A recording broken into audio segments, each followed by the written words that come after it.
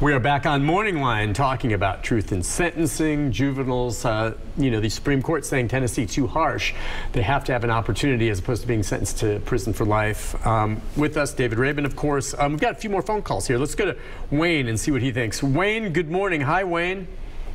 Hey, how you doing there? Good morning. Hey, I just, good morning. Hey, I just want, I just got a comment. As a parent, uh, I was, I was vilified for disciplining my children. And uh, and I think that if you wanna if you wanna stop some of this wayward wayward behavior that we're facing right now, they've got to quit vilifying good parents who just want to discipline their children. You mentioned Cain and Abel a little while ago. Now, and, and we've got God's name on our money. Now, there's a scripture in Proverbs, I think it's 13 and 24 is one of them.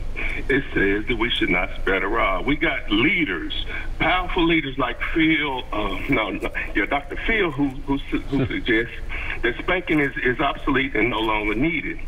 But, you know, it may be for some children, but not for all. And I think if you, if you really want to curb some of this, we got to set guidelines young stop vilifying parents that, that, that will use the rod, go in and investigate to see if there's really abuse going on, and then get out of the parents' way because we're, we're, we're allowing society to uh, take a downturn. Okay, David. I mean, the thing is, uh, my take is that there aren't enough parents like him who care about disciplining their child however they do it without abuse. There's just too many absent parents and these kids running wild that have no guidance, and that's well, the problem. I, I will tell you what that gentleman said. I have every confidence that his children are not going to be going out committing crimes because what we see is children with no parents. Right children with no le leadership. They go out and they join gangs because they have to have somebody there. This gentleman is exactly the kind of parent that we need in terms of being appropriately strict with your children, maybe, uh, you know, disciplining them as a parent has the right to do in an appropriate way. But you want to have the parents, and we need to support the parents at every turn. Uh, the schools need to support the parents, and, and, and that is where Every educator will tell you, and in an I deal with the criminal justice system a lot, the kids that I see, they have no parents. They have nobody showing them what to do. And if you have good role model, models, mm -hmm. then you're going to avoid a lot of this aberrant behavior. That's where you start this. So you go bring the juvenile court judge in here and ask her what she thinks. She's going to tell you exactly the same thing. By the time she gets a hold of somebody, it may be too late. Mm. Where's mom and dad? So the question that you ask about those 15-year-olds who kill the market owner, you know, well, we should do this and we should do that. Where are the parents? What happened to them? And so you may want to have the parents be potentially hold the parents accountable. You have situations where people, young people, very young people, commit crimes with their parents' guns. Mm. Well, maybe you want to hold the parent accountable mm for making that gun accessible to, to a minor, perhaps. So he has a great point, and then we ought to be looking at that as a as a possible solution, of course. Let's go to Thomas. Thomas, good morning. Hi, Thomas. Hey, good morning, people. Uh, this question is uh, for your guest. Is it true that you can conceal carry a gun in Tennessee without a permit? I'll wait for your answer, then I've got another comment. Okay, the answer is you cannot conceal a weapon in hmm. Tennessee without a, a, a, concealed permit. We have an open carry. I guess I can be running around with a gun walking down the street. But if I want to hide my pistol in my pocket and conceal it, I'd have to have a concealed carry permit. Okay. That's what that's the law. And I'm not sure where he was going on that. Did we have another caller on five? You want me to take? Tom, go ahead, Tom. Are you there, Tom? Hello. Hey, go ahead, sir. Uh, yes, how are you doing, Nick? Good. I was sitting here listening to all this comment and stuff, and I liked the guy's comment there just a minute ago. Uh, you know, the government is what's ruining the children because they took all, uh, you know, years ago, uh, if your kid got out and got in trouble, the parents would have to pay for the charges. And, you know, they don't, they took the discipline away from the parents so they can't make their kids mine, and then kids goes out here and gets in trouble, the parents gets in trouble. You know, it didn't make no sense when they started changing all these laws around. And yes, I've been in prison myself.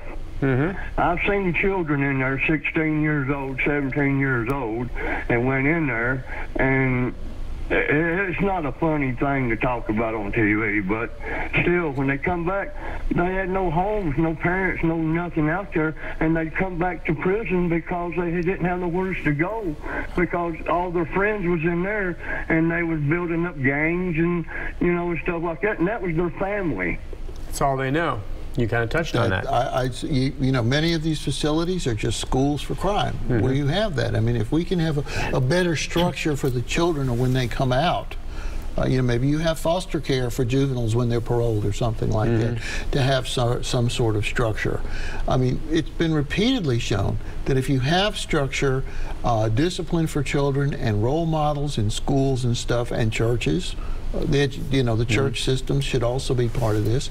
Where that's strong and in place, the number of crimes committed by juveniles are far, far less. But where you just think anything goes, there's no strictures, no rules, then anything goes. And you lose respect for authority, you, you lose respect, and ultimately you, you, you lose sensitivity for another person. It's not just worrying about, am I going to get call, caught? It's look what I'm doing to another person. I'm harming another person. Mm -hmm. And if they see that another person is nothing but a video game, mm -hmm. they're not going to have the same empathy and commit crimes like that. And that really is the core issue. Yeah.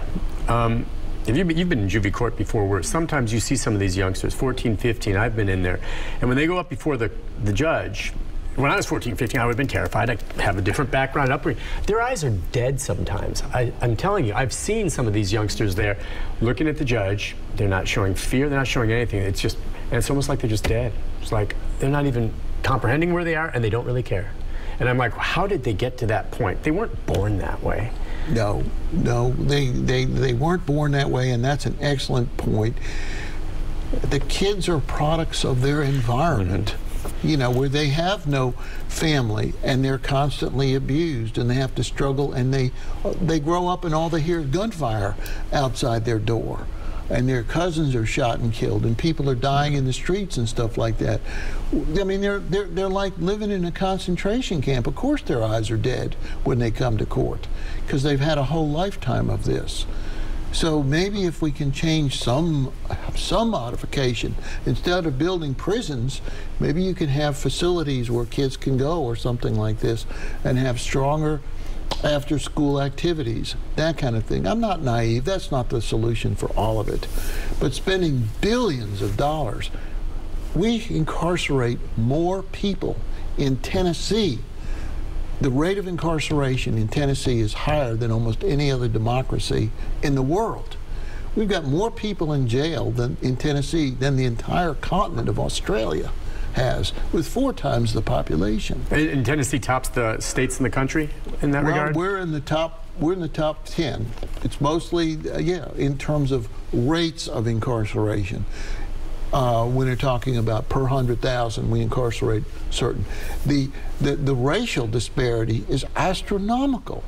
Um, I don't have exact statistics there, but the racial disparity is enormous um, in, in, Tennessee. We have a small, we have about 4 million people in Tennessee, so you're talking about the rates of incarceration are much higher than in other places. But what I look forward to is some consideration on the law enforcement side and in the district attorney side. I mean, you know, Glenn Funk and I have been at mm -hmm. odds about a thousands of things, but but he does use good judgment in many cases I've seen where there are some mitigating factors involved in that, and he makes some appropriate decisions mm -hmm. in certain kinds of cases. Um, and the new district attorney they had in Memphis campaigned on that, and they got rid of the one that was was just artificially wooden. Mm -hmm. So you you know you can have some situations where you have a conversation between the district attorney and the law enforcement um, and, and the judges and the people in the world talking about what's appropriate community Oh, involvement And that's what, as we wrap it up, I hope that's the message that folks lead with, with the Supreme Court ruling and beyond that. Bottom line is you keep building, right, Dave, in more prisons and locking people up. The crime rate's not changing. People are still committing crimes. It's not getting better. It's not a deterrent. If you don't address that, I mean, you're just going to keep locking more and more people up at already a record level and pay for more prisons. Uh, something else has to give because all these prisons and locking folks up is not changing the crime rate. it's not going to change the crime rate, and you're going to be back to where we were in 1986. Where at some had- point- you have riots in prison, and you have an instability in the criminal justice system. And you And predict that's coming. It will happen. It's not a prediction, it's an absolute certainty. I've lived it. And to me, that, that's the worst thing because it creates an instability and the people don't have confidence anymore. They're losing confidence in the government all around. We should have confidence. Truth in sentencing means accuracy in sentencing and stability in sentencing. You could create a system, it's pretty simple to just say you will serve X number of months and that's it. And then you will not get out until that time is served. And everybody can understand that and everybody can accept that. It, you change the laws every year, you create instability and people lose confidence in the system. And that's dangerous. David? Instructional. Thank you for asking Someday me you to should come. write a book. I probably will. Thank David you. Raybin, thank you for coming on. We'll talk again. Great Thank you, program. sir. I'll be back to wrap things up right after this.